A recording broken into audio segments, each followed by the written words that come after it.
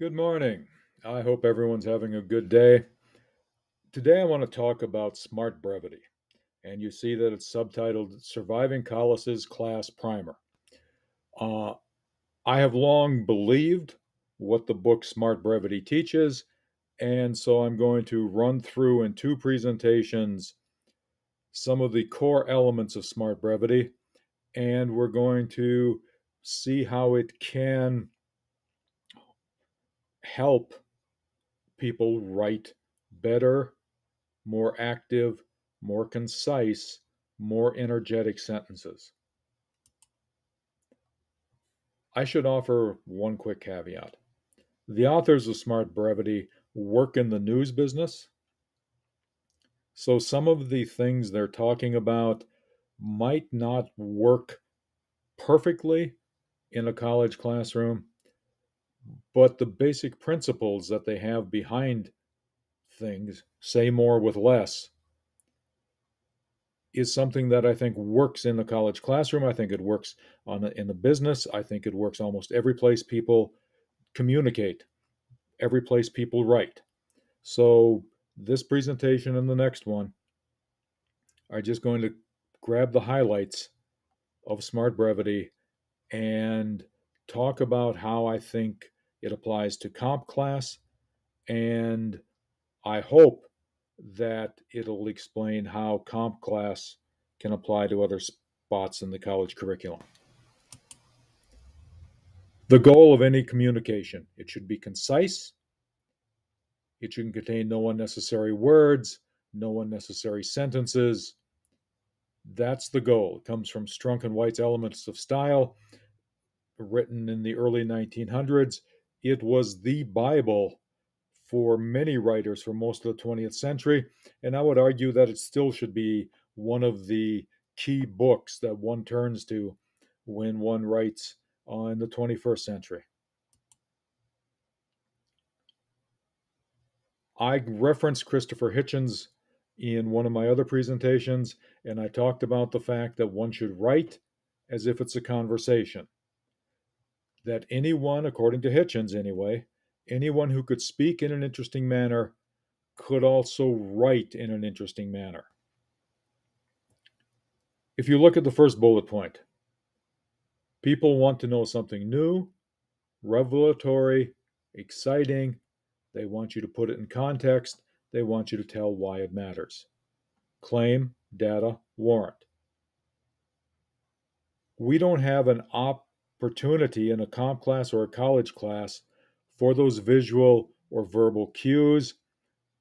And I'm going to argue that almost every college class is going to ask you automatically to go deeper. So that's not necessarily an option. Okay? If you look at the second bullet point, I do believe we have a huge burden of not being meandering, of not being self centered, of not being burdensome.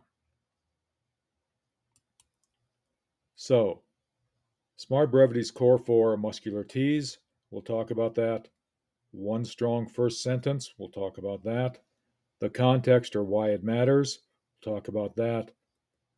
The choice to learn more. We won't.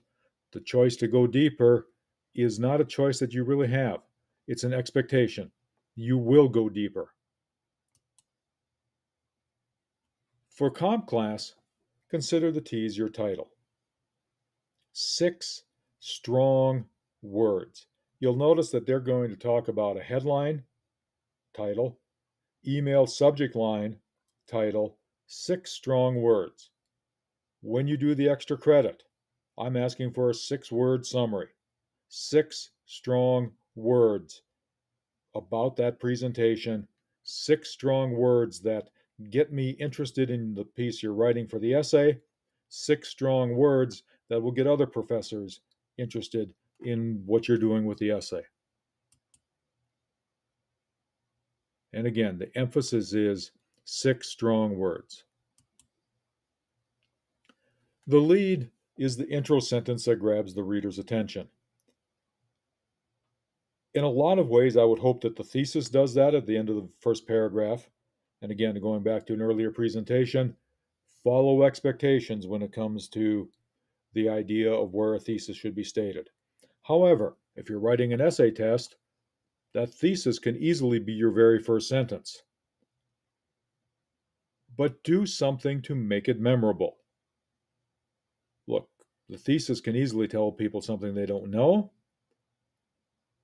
but direct and short and sharp as possible.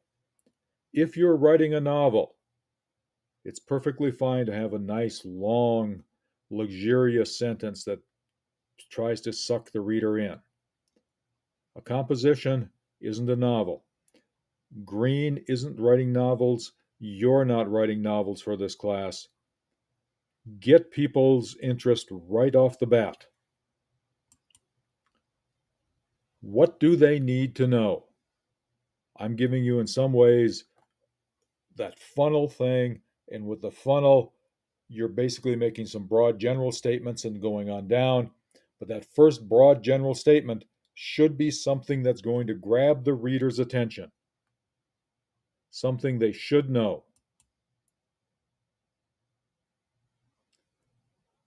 The guys who do this run the Axios news site, and their big thing, and you're going to see it later, is that paragraphs should fit on a phone screen.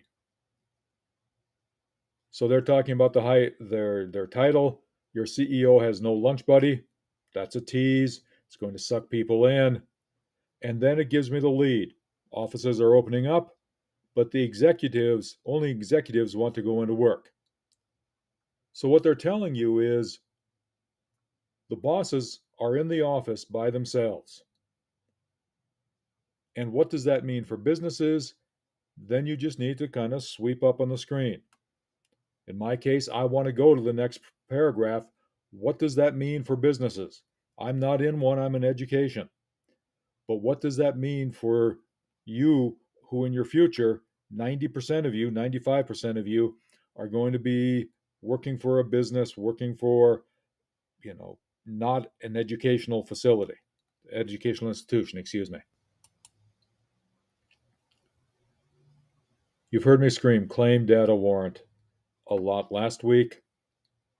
Why should anyone care? And the fact of the matter is, if you look at this second line, we all know a lot about the a little. I mentioned the T.S. Eliot quotation earlier this semester when everybody knows something about many things, it's difficult to know whether we know anything at all. Your readers of an essay it isn't that they're too ashamed to ask, it's that they don't have the opportunity to ask because they're reading an essay.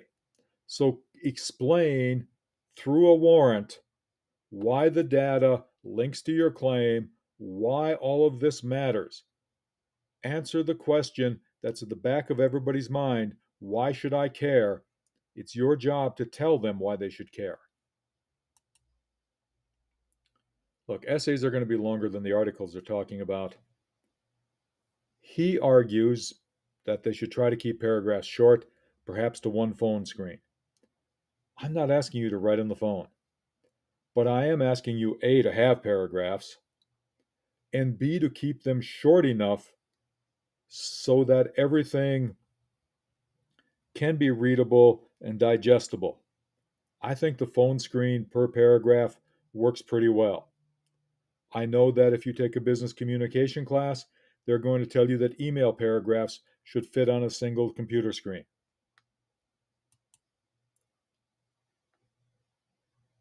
The ultimate goal. In the classroom, I'm going to ask people to stop and read this to themselves. Sorry, you're stuck hearing me read it here. We're not saying to write short for short's sake. You bring more soul more salience to your writing by being direct, helpful, and time saving. Don't omit important facts or nuance, oversimplify or dumb down. Short, not shallow, is what they tell their reporters. Short, not shallow should be the goal here. Don't omit facts. Supply nuance, don't admit it. Don't treat any of your readers ever as if they're dumb. Short, not shallow.